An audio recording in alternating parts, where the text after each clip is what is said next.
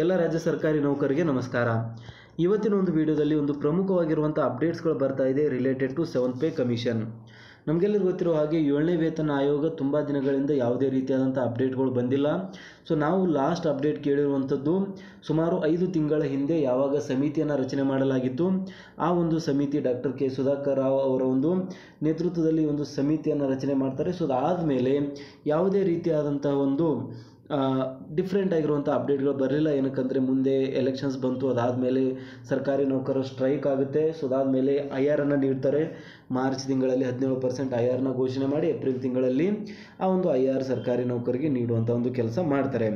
So ಅದಾದಮೇಲೆ final ಆಗಿ ಇವಾಗ ಸರ್ಕಾರಿ ನೌಕರರ ಒಂದು ಏಳನೇ ವೇತನ ಆಯೋಗಕ್ಕೆ ಸಂಬಂಧಿಸಿದಂತೆ ಒಂದಿಷ್ಟು ಅಪ್ಡೇಟ್ ನಿನ್ನೆ ತಾನೇ ಬಂದಿತ್ತು. ಐದು ಐದು ಎರಡು ಸಾವಿರದ ಇಪ್ಪತ್ತ್ಮೂರರಂದು ಮಧ್ಯಾಹ್ನ ಮೂರು ಮೂವತ್ತಕ್ಕೆ ಒಂದು ಸಭೆಯನ್ನು ಏರ್ಪಡಿಸಲಾಗಿತ್ತು. ಬೇಸಿಕಲಿ ಏಳನೇ ವೇತನ ಆಯೋಗದ ಪ್ರಶ್ನಾವಳಿಗಳ ಬಗ್ಗೆ ಡಿಸ್ಕಸ್ ಮಾಡೋಕ್ಕೆ ಸೊ ಆ ಒಂದು ಸಭೆಯ ರಿಸಲ್ಟ್ ಏನಾಯಿತು? ಅದರಲ್ಲಿ ಯಾವ ಒಂದು ಪ್ರಮುಖ ಅಂಶಗಳನ್ನು ಡಿಸ್ಕಸ್ ಮಾಡಲಾಗಿದೆ? ಸೊ ಏನೆಲ್ಲ ಡಿಸಿಷನ್ಸ್ ತೆಗೆದುಕೊಳ್ಳಲಾಗಿದೆ ಅನ್ನೋ ಬಗ್ಗೆ ಕಂಪ್ಲೀಟ್ ಅಪ್ಡೇಟ್ಸ್ನ ಇವತ್ತಿನ ಒಂದು ವಿಡಿಯೋದಲ್ಲಿ ಪಡೆಯೋಣ. ಬಟ್ ಅದಕ್ಕಿಂತ ಮುಂಚೆ ಯಾರಾದರೂ ಚಾನಲ್ಗೆ ಸಬ್ಸ್ಕ್ರೈಬ್ ಆಗಿಲ್ಲ ಅಂದರೆ ದಯವಿಟ್ಟು ಸಬ್ಸ್ಕ್ರೈಬ್ ಮಾಡ್ಕೊಳ್ಳಿ. ಸರ್ಕಾರಿ ನೌಕರರಿಗೆ ಉಪಯುಕ್ತವಾಗುವಂಥ ಮಾಹಿತಿಯನ್ನು ನಾವು ಡೇ ಟು ಡೇ ಕೊಡ್ತಾ ಇರ್ತೀವಿ. ಸೊ ನಮಗೆಲ್ಲರಿಗೂ ಗೊತ್ತಿರೋ ಹಾಗೆ ನಿನ್ನೆ ಒಂದು ಪತ್ರವನ್ನು ರಿಲೀಸ್ ಮಾಡಲಾಯಿತು. ಪತ್ರ ನಿಮ್ಮ ಒಂದು ಸ್ಕ್ರೀನ್ದಲ್ಲಿ ಕಾಣಿಸ್ತಾ ಇದೆ. ಒಂದು ವಿಷಯ ನೋಡ್ತಾ ಇದ್ದೀವಿ. ಏಳನೇ ರಾ, ಕರ್ನಾಟಕ ರಾಜ್ಯ ವೇತನ ಆಯೋಗದ ಸಂಬಂಧ ಪ್ರಶ್ನಾವಳಿಗಳಿಗೆ ಒಂದು ಸಭೆಯನ್ನು ಆಯೋಜಿಸುವ ಕುರಿತು ಅಂತ ಹೇಳಿದ್ದಾರೆ. ಸೊ ಈ ಒಂದು ಸಭೆಯಲ್ಲಿ ಮೇನ್ ಇಂಪಾರ್ಟೆಂಟ್ ಫ್ಯಾಕ್ಟರ್ ಡಿಸ್ಕಸ್ ಮಾಡಿರುವಂಥದ್ದು ಫಿಟ್ಮೆಂಟ್ ಫ್ಯಾಕ್ಟರ್ ಎಷ್ಟು ನೀಡಬೇಕು ಡಿ ಎನ ಎಷ್ಟು ಹೆಚ್ಚಿಗೆ ಮಾಡಬೇಕು, ಅದೇ ರೀತಿಯಾಗಿ H R A home rent allowances ಮತ್ತು ಟ್ರಾವೆಲ್ ಅಲವೆನ್ಸಸನ್ನು ಯಾವ ರೀತಿಯಾಗಿ ರೀಫ್ಯಾಕ್ಟರ್ ಮಾಡಬೇಕು, ಅವುಗಳನ್ನು ಯಾವ ರೀತಿಯಾಗಿ ಪರಿಷ್ಕರಣೆ ಮಾಡಬೇಕು ಅನ್ನೋದ್ರ ಮೇಲೆ ಪ್ರಮುಖವಾಗಿರುವಂಥ ಚರ್ಚೆ ಆಗಿದೆ ಅನ್ನೋದು ಒಂದು ನ್ಯೂಸು ಬರ್ತಾ ಇದೆ. ಸೊ ಬೇಸಿಕಲಿ ನಮಗೆಲ್ಲರಿಗೂ ಗೊತ್ತಿರೋ ಹಾಗೆ ಎರಡು ಸಾವಿರದ ಹದಿನಾರರ ಸಿದ್ದರಾಮಯ್ಯನವರ ಸರ್ಕಾರ ಮೂವತ್ತು ಪರ್ಸೆಂಟ್ ಫಿಟ್ಮೆಂಟ್ ನೀಡುತ್ತೆ. ಬಟ್ ಅಲ್ಲಿ ಗಮನಿಸಬೇಕಾದಂಥ ಒಂದು ಅಂಶ ಅಲ್ಲಿರುವಂಥ ಇನ್ಫ್ಲೇಷನ್ ರೇಟ್ ಅಲ್ಲಿರುವಂಥ ಹಣದುಬ್ಬರ ಬರೀ ಮೂರರಿಂದ ನಾಲ್ಕು ಪರ್ಸೆಂಟ್ ಇತ್ತು. ಬಟ್ ಈ ಟೈಮಲ್ಲಿ ಹಣದುಬ್ಬರ ಇರುವಂಥದ್ದು ಸುಮಾರು ಆರರಿಂದ ಏಳು ಪರ್ಸೆಂಟ್ ಇದೆ ದೇಶಾದ್ಯಂತ. ಹಾಗಾಗಿ ಈ ಟೈಮಲ್ಲಿ ಕನಿಷ್ಠ ಏನಿಲ್ಲ ಅಂದರೂ ನಲವತ್ತು ಪರ್ಸೆಂಟ್ ಫಿಟ್ಮೆಂಟ್ ನೀಡಬೇಕು ಅನ್ನೋ ಒಂದು ಮಾತನ್ನು ಕರ್ನಾಟಕ ಸರ್ಕಾರಿ ನೌಕರರ ಪರವಾಗಿ ಖುದ್ದಾಗಿ ಸಿ ಎಸ್ ಷಡಾಕ್ಷರಿಯವರು ಮಾನ್ಯ ಕರ್ನಾಟಕ ರಾಜ್ಯ ಸರ್ಕಾರಿ ನೌಕರರ ಸಂಘದ ಅಧ್ಯಕ್ಷರಾಗಿರುವಂಥವ್ರವರು ಸೊ ಅವರೇ ಸರ್ಕಾರದ ಮುಂದೆ ಆರು ತಿಂಗಳುಗಳ ಹಿಂದೆ ಯಾವಾಗ ಒಂದು ಸಮಿತಿ ರಚನೆ ಆಯಿತು ಆವಾಗಲೇ ಕೇಳಿದರು. ಫಿಟ್ಮೆಂಟ್ ನಮಗೆ ಅಟ್ಲೀಸ್ಟ್ ನಲವತ್ತು ಪರ್ಸೆಂಟ್ ನೀಡಬೇಕು ಅಂತ. ಸೊ ಆ ಒಂದು ಅಂಶ ಕೂಡ ನಾವು ಇಲ್ಲಿ ಗಮನದಲ್ಲಿ ಇಡಬೇಕಾಗುತ್ತೆ. ಏನಕ್ಕಂದರೆ, ಅದು ಹಣದುಬ್ಬರಕ್ಕೆ ಸಂಬಂಧಿಸಿದಂತೆ ಇರುತ್ತೆ.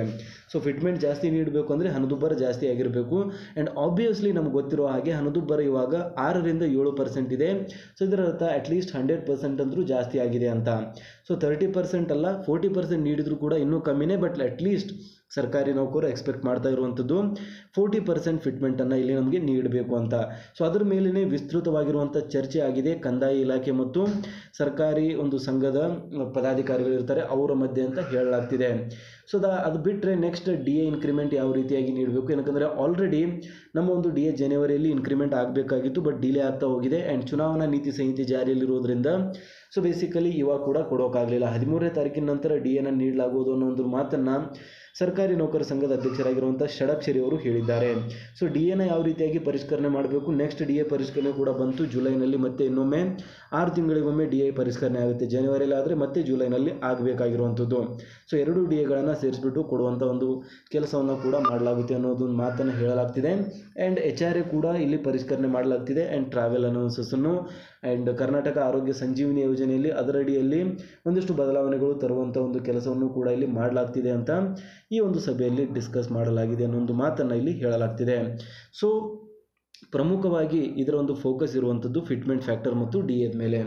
ಸೊ ಅದರ ಒಂದು ಫೈನಲ್ ರಿಸಲ್ಟ್ಸು ಎಲೆಕ್ಷನ್ ಮುಗಿದ ಮೇಲೆ ಬರುತ್ತೆ. ಹದಿಮೂರನೇ ತಾರೀಕಿನ ನಂತರ ತನ್ನ ಒಂದು ರಿಪೋರ್ಟ್ ನೀಡುತ್ತೆ. ಆಬ್ವಿಯಸ್ಲಿ ಐದು ತಿಂಗಳು ಕಂಪ್ಲೀಟ್ ಆಗ್ತಾ ಬಂದಿದೆ ಇವಾಗ. ಸೊ ಐದು ತಿಂಗಳ ಸಮಯಾವಕಾಶವನ್ನು ನೀಡಲಾಗಿತ್ತು ಈ ಒಂದು ಸಮಿತಿಗೆ. ಸೊ ಇವಾಗ ಅದು ಕಂಪ್ಲೀಟ್ ಆಗಿದೆ.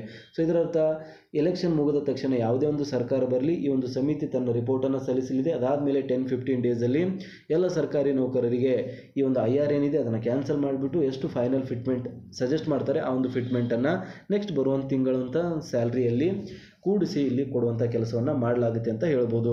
ಸೊ ಇದಿಷ್ಟಾಗಿತ್ತು. ಪ್ರಮುಖ ಅಪ್ಡೇಟ್ಸ್ಗಳು ಏನು ನಡೀತಾ ಇದೆ ನಿನ್ನೆ ಒಂದು ಮೀಟಲ್ಲಿ ಮತ್ತು ಯಾವ ರೀತಿಯಾಗಿ ಅಪ್ಕಮಿಂಗ್ ಎಲೆಕ್ಷನ್ ಮುಗಿದ ಮೇಲೆ ಫೈನಲ್ ಆಗಿ ಸರ್ಕಾರಿ ನೌಕರರಿಗೆ ಒಂದು ಏಳನೇ ವೇತನ ಆಯೋಗ ಜಾರಿ ಬರಬಹುದು ಅನ್ನೋದು ಅನ್ನೋ ಮಾತನ್ನು ಈ ಒಂದು ವಿಡಿಯೋದಲ್ಲಿ ನಾವು ಅರ್ಥ ಮಾಡಿಕೊಂಡಿದ್ದೀವಿ.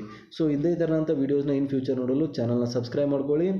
ಈ ಒಂದು ವಿಡಿಯೋ ಲೈಕ್ ಅನಿಸಿದರೆ ದಯವಿಟ್ಟು ಶೇರ್